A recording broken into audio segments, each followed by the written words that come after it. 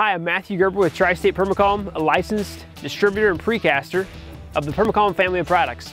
Here you'll see a delivery of material to a job site in Decatur, Indiana for one of our customers.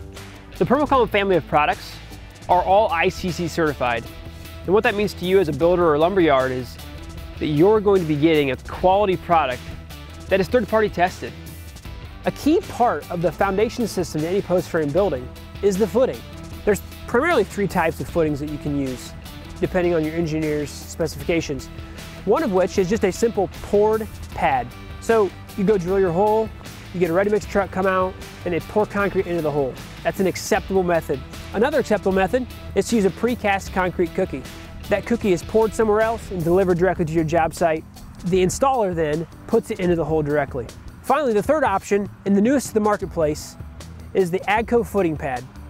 The AGCO footing pad is ICC certified and gives the builder and installer the confidence to know that this product is engineered and designed for a specific application.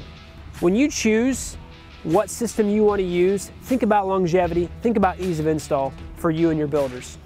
So we've just finished drilling our holes, and now I'm going to show you how to install a precast concrete cookie. As you get over to the hole,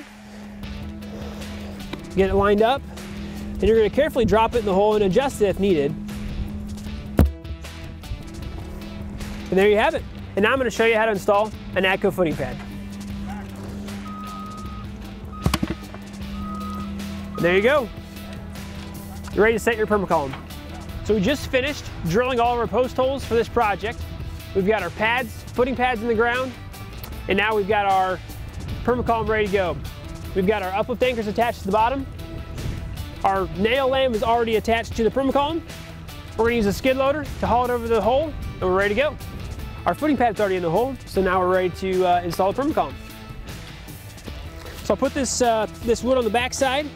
That way it stays in place. I'm gonna then take, um, take the end of the Perma-Column, into the, into the column and lift it up and slowly slide it toward the hole.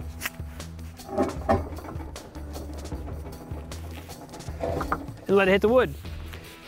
Then I'll lift it up into place and away we go.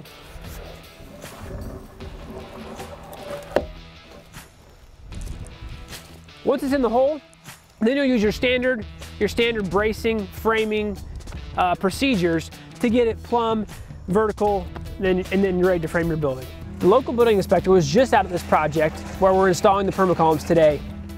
He stated that he loves when contractors use Perma-Columns because there's an assurity that the wood in the ground will not rot because it's not there.